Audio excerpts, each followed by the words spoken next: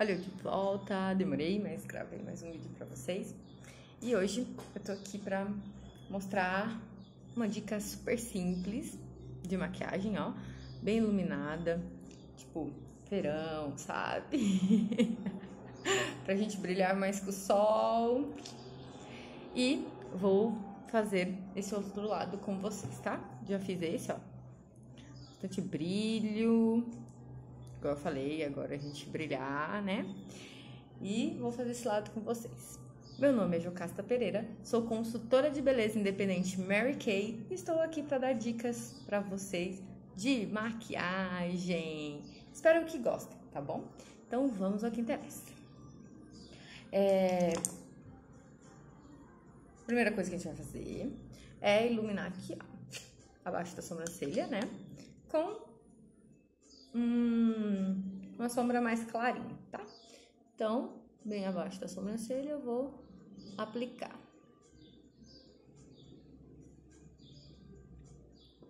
Pronto. Feito isso, eu vou, não vou passar primer hoje de, de sombra, tá? Vou aplicar a sombra direto. Então, a sombra que eu vou aplicar hoje é essa aqui, ó. A Rose Gold, uma das mais vendidas, nossa, aqui, as as clientes amam de paixão. Ela é cintilante, tá? E ela é meio rosadinha.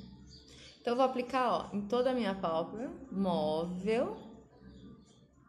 Dando batidinhas e arrastando bem um pouquinho. E vou, ó, subir com ela até onde eu coloquei o mais clarinho.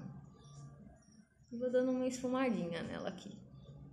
Olha o brilho dela como é linda.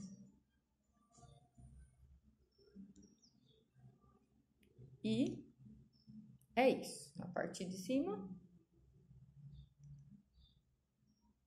E na parte de baixo agora, tá? Então, vou aplicar bem rente aqui, ó, da linha d'água. Tá? E vou deixar assim. Tá? Agora, eu vou pegar meu lápis de olho retrátil. Que eu já mostrei no Instagram, vai lá nos stories, mostrei um pouquinho mais sobre ele, que ele tem um apontadorzinho é, na tampa dele, né?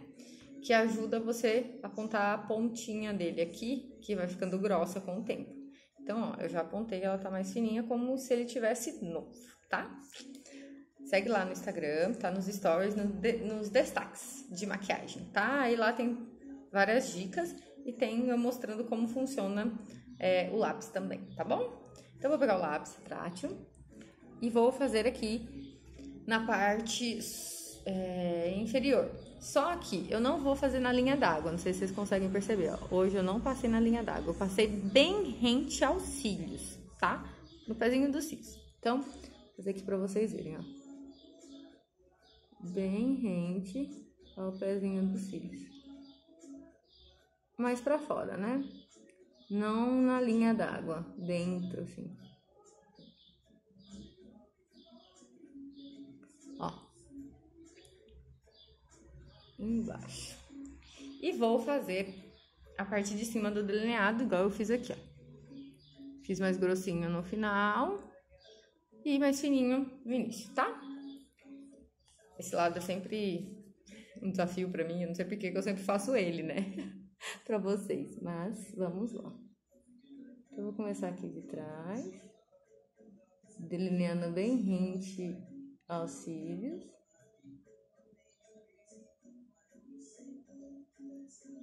Olha. E aí eu vou dar uma engraçadinha.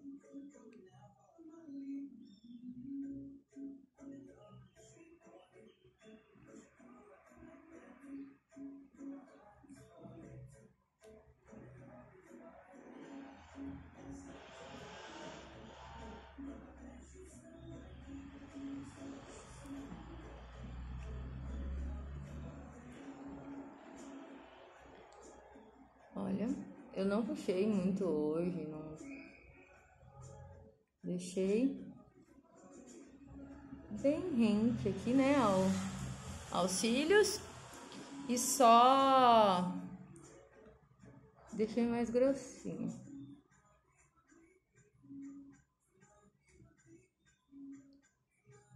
Olha. Pronto, só isso. Aí, agora eu vou pegar um pincelzinho. É, um pincelzinho fofinho, assim, de aplicar sombra, tá? Vou fazer o quê? Vou passar ele aqui, ó, pra dar uma esfumadinha nesse lápis, na parte, na parte inferior. E vou passar aqui também. Na parte superior. Eu peguei o pincel seco, tá, gente? Sem nada. Só pra dar uma esfumadinha. Olha. Pronto. É isso. Isso é o que nós vamos fazer, tá? Aí agora eu vou passar meu primer, né? De cílios.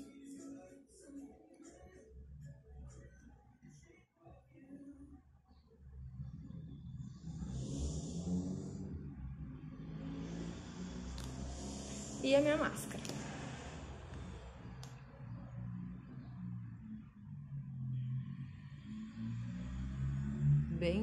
Né? O pezinho aqui dos cílios, levando pro finalzinho.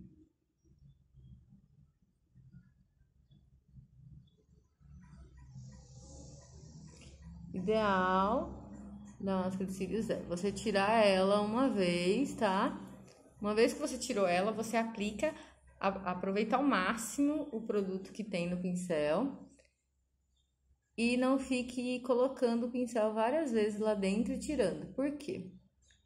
Porque quando você introduz o pincel lá dentro de novo, ele leva um pouco de ar para dentro da máscara. E aí leva também um pouco de bactéria.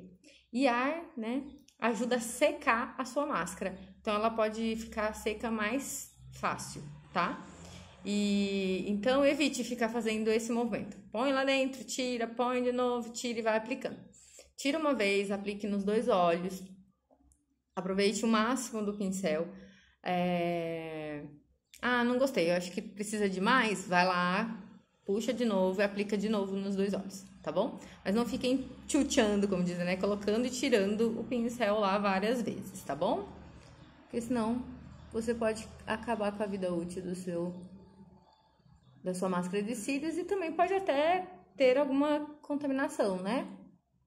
Então tirou uma vez, faz o que tem que fazer e depois coloca lá dentro de novo, tá bom? É, pronto, já fiz, ó, passei a máscara de cílios. Hoje foi uma maquiagem bem rapidinha, bem facinho, pra usar no verão, minha gente, tá? Desculpa o barulho. É pra usar no verão, ó. Bem verão. e bem fácil, tá? Rapidinha de se fazer. Agora eu vou... Eu usei a, a máscara, não. Eu usei a base efeito, é, em creme efeito pó pra dar uma iluminada aqui, ó. Nessa região, no lugar do corretivo. Então, ó, vou pegar minha máscara, minha máscara não, minha base. É, em creme efeito pó e vou aplicar nessa região onde normalmente eu aplico corretivo, tá?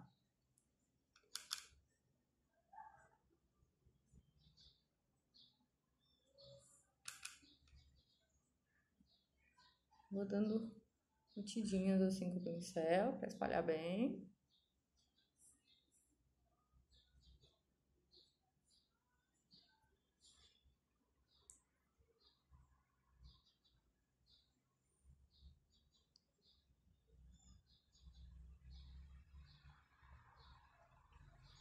Pronto, olha. Vou dar uma passadinha com esse pincel aqui.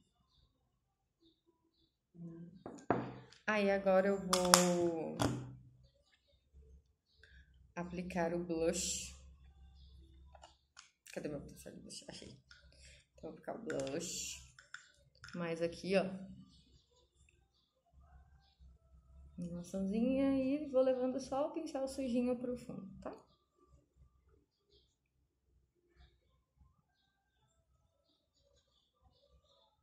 Pronto. E agora eu vou pegar o meu iluminador em pó.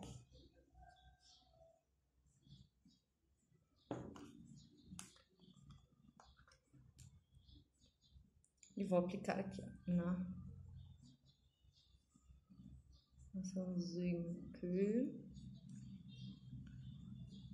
Vou aplicar aqui no órculo corrido,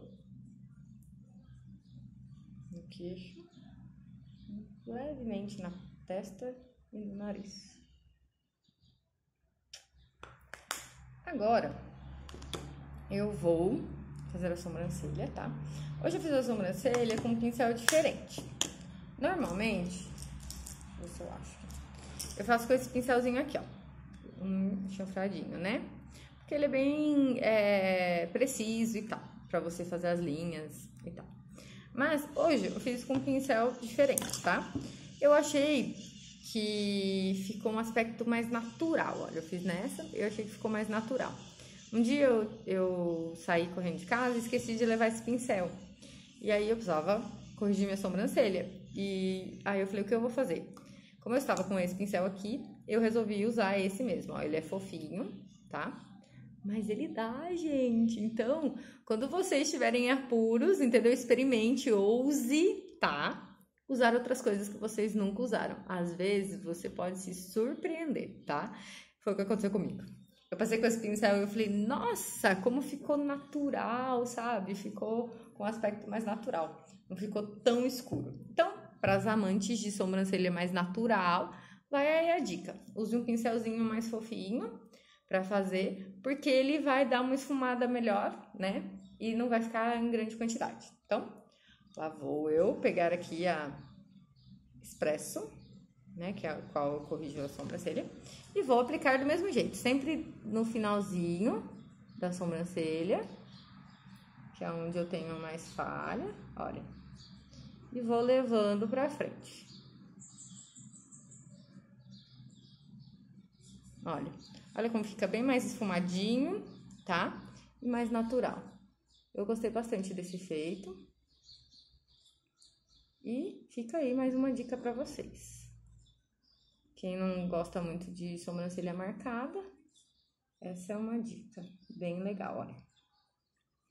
Ela, né, dá um destaque, claro, na sobrancelha, que é o que a gente quer, que a sobrancelha apareça mais, mas não fica aquela coisa muito marcada, né? Ele fica bem esfumado e nem parece que você tá com sombra de sobrancelha. Então, essa foi mais uma dica. Espero que vocês gostem. Eu, eu faço as experiências em casa, não, às vezes porque eu quero e às vezes porque acontecem alguns imprevistos. Então eu passo para vocês aqui o que eu for achando legal, tá bom? Essa foi uma dica legal. Fazer corrigir a sobrancelha com um pincelzinho fofinho de sombra, tá bom? Agora a gente vai lá para pro batom. Hoje eu vou usar o líquido, tá? Mate, que é o Taupe Det, que é um nude rosadinho, bem natural também, cor de boca. Então, vou passar ele.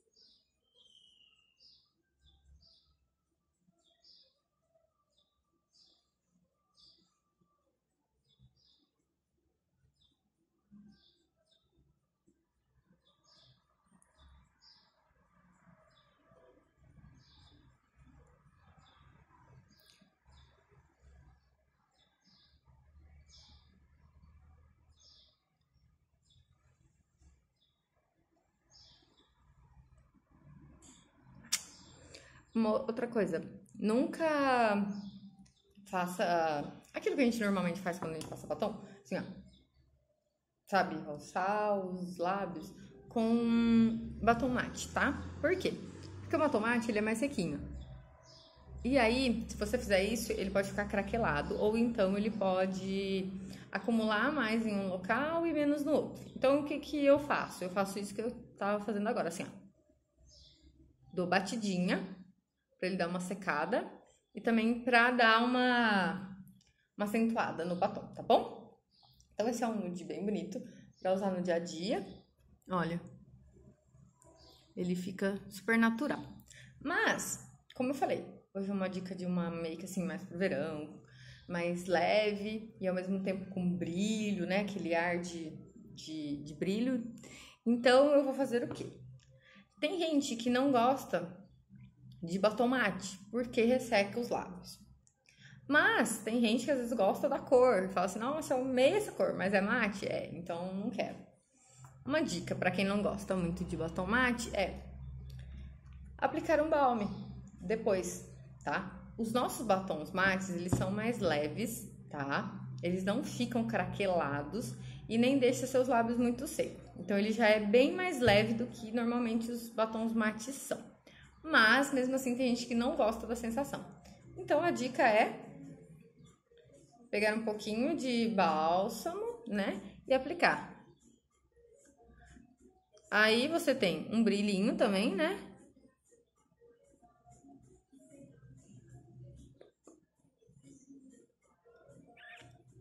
Seu lábio fica como Fica como se estivesse com um batom cremoso.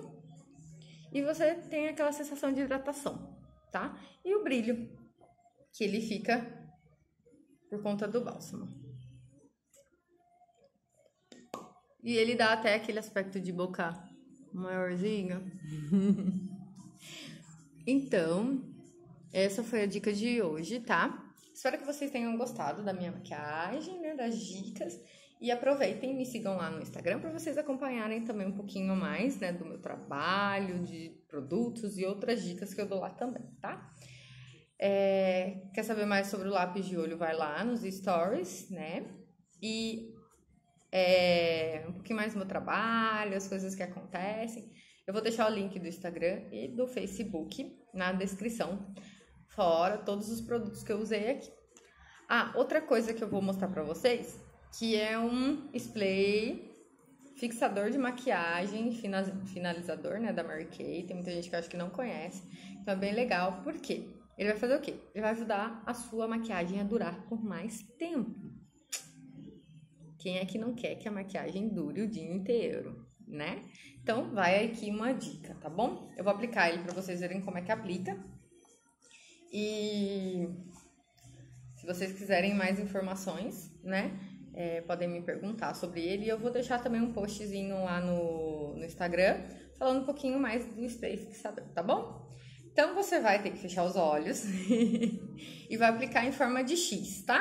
Então, assim e assim. Aí ele vai ficar um pouquinho molhadinho, ó. Depois ele seca, tá? E o que, que ele vai fazer? Ele vai deixar com que a sua maquiagem dure um pouquinho mais. Outra dica é, é quem quiser pode estar tá passando ele, passando um pó translúcido depois, ou então passar antes, passar ele. Tem vários jeitos de usar. Tem gente que aplica ele antes na pele, tá? E depois aplicar a base, né, a maquiagem. E ele é super versátil. Eu vou deixar lá a dicasinha no Instagram também, na lá no Friends, né? E vocês acompanhem lá, tá bom? Espero que vocês tenham gostado. Meu nome é Jocasta Pereira, sou consultora de beleza independente, Mary Kay, e estou aqui para dar dicas de maquiagem para vocês.